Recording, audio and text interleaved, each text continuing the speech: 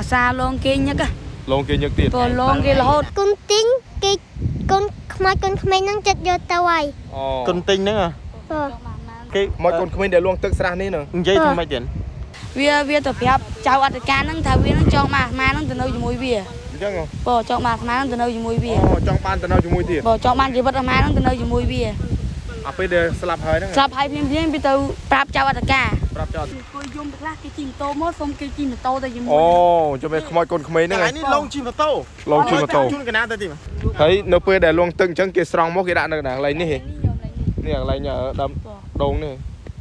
ហើយហើយអាពេលវាលងហ្នឹងអាម៉ាដល់វាលងអាម៉ាលោតលោតលេងនៅហ្នឹងទៀតអញ្ចឹងហ៎ម៉ាលោតលេងលោតលេងនៅហ្នឹងដល់អត់ដឹងថាវានៅក្រោមជើងនេះអូស្រង់អូនដាក់នៅនេះទៅមកកន្លែងនេះទៅមកគេស្រង់បាទប៉ុន្តែអូសដបងអូសកន្លែងនោះ អូសមកកន្លែងលនោះងនៅប្រឡោះហ្នឹងហ៎អូសអូសឡើងប្រឡោះហ្នឹងអូតែសពដាក់កន្លែងនេះអឺហើយជាម៉ោង8ទេណាម៉ោង3ម៉ោងម៉ោង8ស្រង់សពបានខ្ញុំធ្វើព័ត៌មានហ្នឹង3ព្រឹកហ៎8ព្រឹកបងនៅក្នុងវត្តបុរាណមួយ មានកូនក្មេងអាយុ9ឆ្នាំ ដែលជាសិស្សសាលារៀននៅក្នុងវត្តនេះទៀតផងក៏បានទៅលេងនៅទឹកស្រះហើយក៏បានលងស្លាប់បន្ទាប់មកប្រលឹងវិញ្ញាណនៃខ្មោចកូនក្មេងអាយុ9ឆ្នាំនេះក៏បានធ្វើប្រតិបត្តិការលងកូននានសឹងទៅរយប់ សឹងតែមិនបានសឹងផងពេលខ្លះពេលខ្លះក៏អង្គុយនៅមិត្តច្រាំងកន្លែងដែលខ្លួនបានលងស្លាប់ ហើយក៏បក់ដៃយំហៅសុំម៉ូតូគេជិះដូចនេះចង់ដឹងពីដំណើររឿងពីការលងសាហាវបែបណានោះទៅតាមដានទស្សនា នៅក្នុងคลิปដែលយើងបានធ្វើការជួបជាមួយនឹងកូននានហើយនឹងការរាយរាប់ពីកូននាន អំពីការដែលខ្មោចលងទៀតផង ពូនឹង ភ្លើងហោះពីនេះ អូភ្លើងហោះពីណា ហោះពីនេះហើយនឹងចូលនឹងដើមពោន អូហោះពីដើមពោននឹងចូលមកហ្នឹងវិញពាក្យប៉ុណ្ណឹងការលងហ្នឹងតើជាពលឹងព្រាយបិសាចឬក៏ខ្មោចអមនុស្សអីបើនិយាយចំទៅកន្លែងនេះអឺវត្តបុរាណណាបាទហើយទៅតូនជាមួយអបិជនខ្លាំងអ្នកនៅកបោស្គាល់វត្តហ្នឹងទាំងអស់អូហើយខ្ញុំមកថតនឹងម្ដងហើយបាទប៉ុន្តែបើសិនជាបងប្អូនថាមិនជឿមកសាកបាននេះសាកបាននៅឡែងឡែងដុតនេះអូហើយយប់ហ្នឹងខ្ញុំចង់ឲ្យបង្កើតឯងទៅដល់យប់ម៉ោងម៉ោង2:10ហ្នឹង ឥឡូវចង់នៅចាំថតមកហ្នឹងហើយព្រោះចង់ដឹងថាតើមានអ្វីដែលប្លែកមកថាខ្ញុំមកហ្នឹងហឹមខ្ញុំគាត់តែនិយាយណាបាទឲ្យចាំតែជួបខ្លួនឯងវិញកាលបាទឯងថាអ្នកគ្រប់ត្រូលខ្ញុំបាទចឹងកុចាំំតែត្រូលជួបខ្លួនឯងដោយសារអីខ្ញុំតែងតែតាមដានបាទ channel YouTube ក៏ដូចជាជួប page ខ្លួនឯងរបស់ថាតើខ្ញុំនិយាយនឹងកុហកមួយឯងបងសិលាឥឡូវនេះគឺម៉ូបទឹកតាមផ្ទាល់មក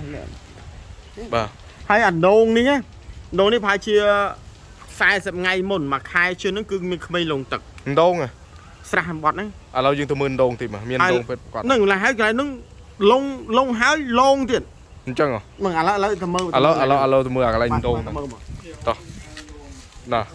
បងប្អូនបងថ្ងៃនេះគឺមកដល់នៅក្នុងទឹកដីវត្តស្ងួនពេជ្រតែលោកឲ្យក៏យើងមានសួរឲ្យលោកប្រកាន់ក៏មានបងប្រុសសិលាបាទដែលគាត់ជាអ្នកខាងស្រាវជ្រាវផ្នែកអបិយជំនឿដូចនេះគឺគាត់បានជួបផ្ទាល់ជាក់ស្ដែងហើយក៏មានការបញ្យល់ ចឹចឹងងនេះដងអឺជាស្រះវត្តទេបាទប៉ុន្តែកាលពីប្រហែលជាបើខ្ញុំស្មានមិនខុសហ្មងកានបាទថា40ថ្ងៃ40ថ្ងៃគឺមានក្មេងម្នាក់លងទឹកបន្ទាប់ពីលេងអឺចេញមកលេងនៅនេះលេងនៅនេះបាទលងទឹកឡើងលងទឹកស្លាប់នៅហ្នឹងហ៎បាទលងទឹកហើយក៏លងគេដែរលងគេដែរបាទលងនេះហ្មងអូលងទឹកស្លាប់នៅហ្នឹងហើយលងតាំងលូកតាំងអីទៀតលងលងលោកប៉ុន្តែគាត់ថាកុំចាស់ហ៊ាននិយាយណាលងណាគេមកញ៉លងណាទៀតតែញូឡៃដេកបាក់នោះណា ឡៃដេកបាក់លដៃងបាក់មិនណាទៅលងមិនពេលគេខ្លះគឺវាអង្គុយយំទៅខ្លះគេជិះម៉ូតូមកសុំគេជិះម៉ូតូទៅជាមួយអូចាំវាខ្មោចកូនក្មេងកហ្នឹងន្លែឯងងនេះលងជិះម៉ូតូលងជិះម៉ូតូជូនកណាទៅទីមកណានេះពេលពេលពេលពេលហ្នឹងទៅគេជិះម៉ូតូមកទៅសុំគេជិះម៉ូតូទៅផ្ទះបាទគេជិះម៉ូតូទៅទៀតអូខ្មោចកូនក្មេងហ្នឹងអូមានខ្មោចកូនក្មេងលងគេជិះមកឆ្នាំមកអូនហ្នឹងយក9ឆ្នាំបាទ4ឆ្នាំអញ្ចឹងមានន័យថាមានលងលងណាទៀតខ្មោចកូនក្មេង អីនេះអូមើលបំជាកណាតិចមកមកក្នុងកណាចង់ទូទីមកទៅមុនទៅមុនទៅមុនខ្លាំងណាស់អត់មានខ្លាបាទខ្លាណាស់ខ្លាំងទៅហើយខ្លាំងខ្មៅមកកាមដែរចាកន្លែងលងក្មេងលងទឹកហ្នឹងណាណានេះឡើងនេះលងកន្លែងនេះដាក់ឡើងណាឡើងមកឡើងអញ្ចឹងមានអញ្ចឹងមានន័យថាក្មេងក្មេងលងទឹកមកនេះហើយទឹកគេឆ្លងមកដាក់ទៅហ្នឹងហើយមកគេលើកគេទៅដាក់ក្មេងក្មេងលងទឹកមកនេះត្រៃទៅប្រុសប្រុសត្រង់ដាក់កណាឆ្លងឆ្ល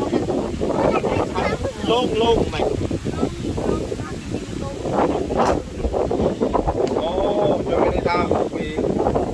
ខែមុនមែនខែតែថ្ងៃទៀតណាមួយខែមុនហ្នឹងមានក្មេងលងទឹកនៅកន្លែងនេះបន្ទាប់មកគេហៅទៅគេដាច់ហកដាច់អឺគេគេសុទ្ធមុនផ្ទះមុនហកមុនហកដាច់នេះនៅនេះគាត់ឲ្យពេលលងទឹកឲ្យគាត់មកគាត់អីទៅ អូអូស្រង់សពស្រង់អត្តនាគុំចាស់ព្រមនេះយកឡៃស្មៅដោះច្រើនណាញោមឡៃស្មៅដោះច្រើនណាញោមឡៃស្មៅដោះច្រើនណាមកលេខមកដល់ច្រើនកន្លែងណាមើលប្រាប់ប្រាប់ប្រាប់ពូឥឡូវបងប្អូនគ្នាឥឡូវលោកក្មួយលោកក្មួយជូនទៅកន្លែងស្រង់សពដាក់កន្លែងស្រង់សពអូទៅគឺស្រង់សពដាក់ដល់នេះស្រង់មកទៅស្រង់ហើយ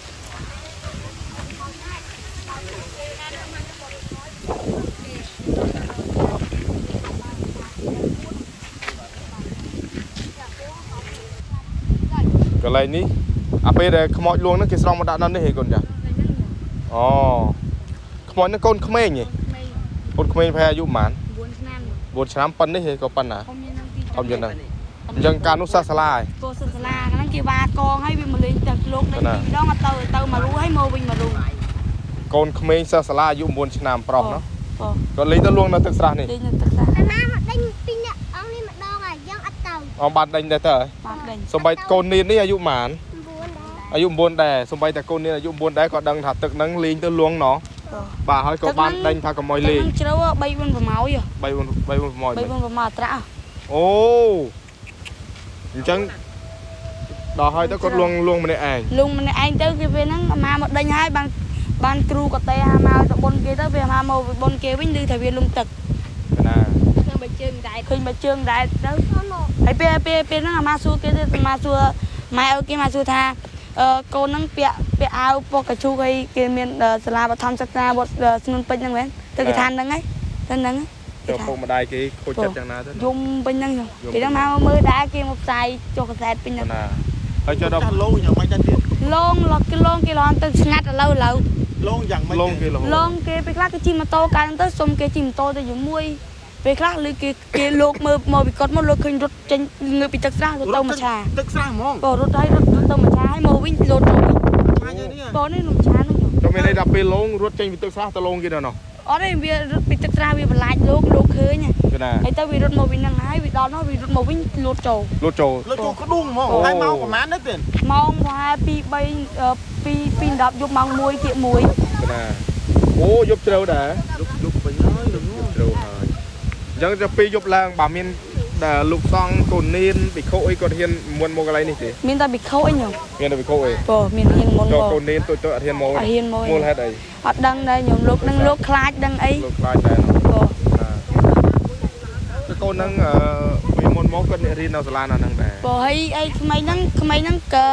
វាវាទៅប្រាប់ចៅអធិការហ្នឹងថាវាហ្នឹងចង់មកអាត្មាហ្នឹងទៅនៅជាមួយវាអញ្ចឹងហ៎បងចង់មកអាត្មាហ្នឹងទៅនៅជាមួយវាអូចង់បានទៅនៅជាមួយទៀតបងចង់បានជីវិតអាត្មាហ្នឹងទៅនៅជាមួយវាអាពេលដែលស្លាប់ហើយហ្នឹងស្រាប់ហើយភ្លាមភ្លាមវាទៅប្រាប់ចៅអធិការប្រាប់ចៅអធិការបងថាប្រាប់ថាម៉េចថាថាក្លចង់បានអាត្មាហ្នឹងទៅនៅជាមួយវាមូលហេតុអីអត់ដឹងដែរខ្ញុំអាត្មាដឹងលោកដែរមានភាពស្និទ្ធស្នាលមួយគ្នាអត់ដែរគាត់អត់ទាន់ស្លាអប់ត់ដែរហងបងរមកមកឃើញវាពេលវាលេងទៅមកមកដេញវាអញ្ចឹងហ៎បងអូអញ្ចឹងមានន័យថាពេលដែលមកលេងទឹកហ្នឹងអឺ កូននេនដេញអញ្ចឹងណាបងមកដេញដេញអញ្ចឹងណាបងបងអូដល់ពេលហើយចង់បានបកចង់បានចង់បានអាត្មាទៅនៅជាមួយវាពេលដែលលឺបែបនេះហើយបាទពេលលឿនបែបមកតែភ័យខ្ញុំភ័យអត់ដែរហ៊ានចេញពីកត់នៅទៅលើកត់ទេព្រោះអត់ដែរហ៊ានចេញបាទបងប្អូននេះគឺជាសម្រងអឺសង្ឃដីកាពីកូននេនដែលមានក្មេងម្នាក់បានលងទឹកបាននៅក្នុងស្រះនេះនោះកូននេននោះបងបងដល់ហើយទៅ ពេលដែលលេងទឹកមុននឹងលងទឹកស្លាប់ហ្នឹងកូននេនធ្លាប់បានមកបណ្ដេញថាកុំឲ្យលេងទឹកខ្លាចលងណោះបងមកប្រាប់ពីរដងមកតែថាដោយសារតែគាត់ទៅជេរដែរបងមកថាខ្លាច់លងខ្លាច់លងកុំលេងមកទីងពត់វាយពីរដងតែដេញទៅមួយសាហើយមកម្សាទៀតដេញទៅមួយសាហើយមកម្សាទៀតដល់ហើយទៅទៅលងទឹកគ្រូតែអាមកទៅបុនគេពីអាមកទៅមកពិសូតមុនគេវិញឮថាវាលងទឹកគាត់ណាអូបងដល់ពេលលងទឹកអញ្ចឹងទៅក៏ក៏ក៏លឹងខ្មោចនោះក៏ទៅបញ្យល់សពលោកគ្រូចោតកាបងថាចង់បានអាមកទៅនៅជាមួយវាអូ ស្រីប្រុសប្រុសខ្ញុំប្រុសបាទសម្បីកូននេនធ្លាប់ដេញដែរណោះកូននេនដេញមួយលោកដែរដេញកុំឲ្យលេងទឹកនោះបងដេញទៅគាត់ថាម៉េចថាតិចតិចខ្ញុំឡើងតិចតិចខ្ញុំឡើង lâu ហើយមួយតាមផ្លែទេដល់ហើយលងទឹកបាត់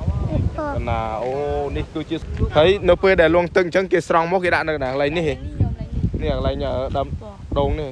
បងហើយហើយអាពេលវាលងហ្នឹងអាមកដល់វាលងអាមកលោតលោតលេងនៅហ្នឹងទៀតអញ្ចឹងហ៎មកលោតលេងលើតលេងនៅហ្នឹងដល់អត់ដឹងថាវានៅក្រោមជើង ហើយទៅបានបានគេអញ្ហៅចឹងមានន័យថាពេលដែលលងហ្នឹងមានន័យថាខ្មោចនៅក្រោមជើងយើងបងនៅក្រោមជើងមកលេងទឹកទៅហ្នឹងមួយលោកនេះមួយអីហ្នឹងអូបាទអនេះគឺជាចម្លែកមែនទេតែក្រោយមកឮថាមានការលងបសក់លងលោកសង្ឃលងអីហោះពេញនេះបងលងរហូតណាលងរហូតសួរ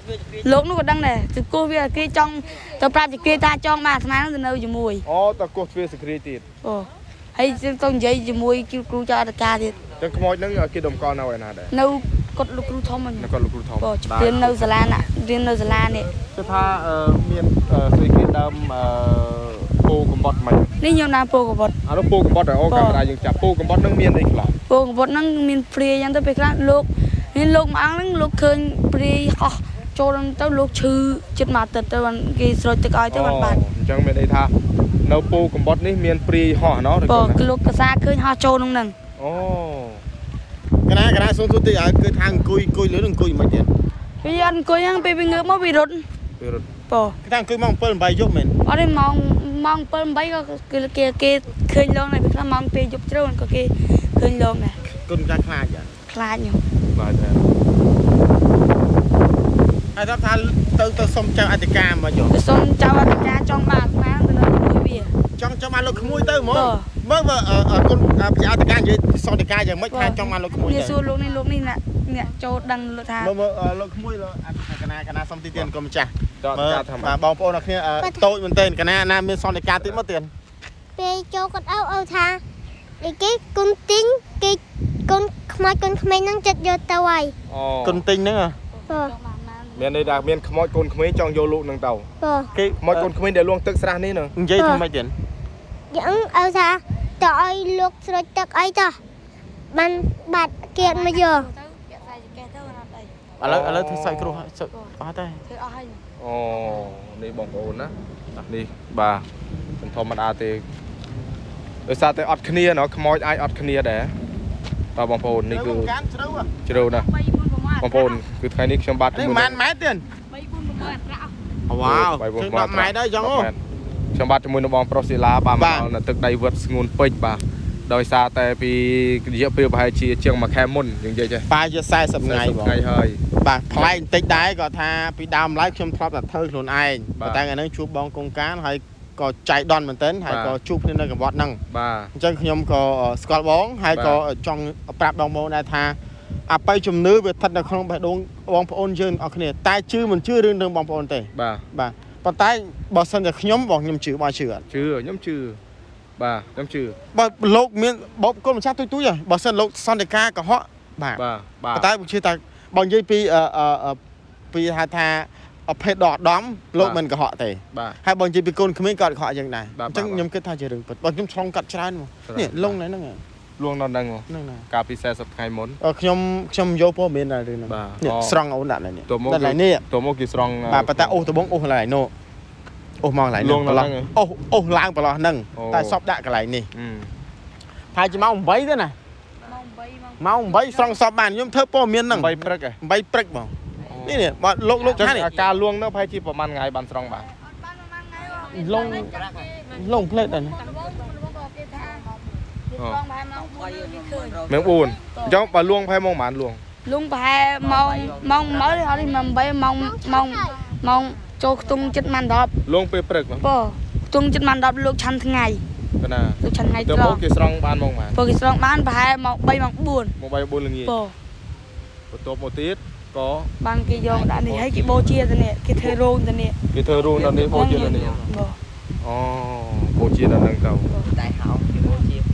ុំបាទ អាសាលងគេញឹកលងគេញឹកទៀតព្រោះលងគេរហូតឲ្យតានេះយ៉ាងទៅឲ្យតាថ្ងៃសិលហ្នឹងទៅលងគេរហូតលងគេព្រោះអាលើកមុនដើររស់មកដើររស់មកពេញវត្តដល់រកពេញវត្តទៀតព្រោះដើររស់អាត្មាហ្នឹងចង់ទៅនៅជាមួយវាដើររស់ពេញវត្តហើយទៅបានអាត្មាងើបផឹកឡើងទៅឪនិយាយថាលោកគ្រូចៅរកាន់និយាយថាសំណាងឯងយប់មិញវាដើររត់ឃើញ អូដើររត់មកឃើញយប់មិញបើសិនតារកឃើញប្រហែលជាយកទៅដែរបងដល់ថាថ្ងៃហ្នឹងវាដើរចឹងយកអាចឹមកងឃើញគុណនានមានការផិតភ័យអីទេពេលភ័យញោមភ័យអត់សូវដែរហ៊ានចេញពីគាត់ហ៎ចេញចេញហ៊ានទៅទិញទៅទិញភេសជ្ជៈឆានហើយឡើងលើគាត់វិញក្នុងគាត់សឹងតែឯងទេបងហើយសឹងគ្នាច្រើនចូលចិត្ត20អង្គលោកច្រើនព្រោះលោកទូចទូចណាលោកទៅជួយច្រើនណាស់គុណនានអីចឹងទៅបងហើយគុណនានប៊ូសបានភាសាដែរហើយតំបួសដែរញោមទៅប៊ូសដែរការប៊ូសនោះប៊ូសមុនពេលដែលមានខ្មោចស្លាប់ អត់ប៊ូសមុនបងអូបាទច្រើនបងប្អូនណាបាទដុសធ្មេញឲ្យសពរានស៊ីស៊ីធម្មជាតិកំចាត់ក្លិនមាត់ស្អុយឈាមចាញស្រាវធ្មេញជួយឲ្យធ្មេញសមានការទទួលស្គាល់និងចុះបញ្ជីការដោយក្រសួងសុខាភិបាលយ៉ាងត្រឹមត្រូវចង់បាត់មាត់ស្អុយទំនាក់ទំនងលេខទូរស័ព្ទ016 69 59និង55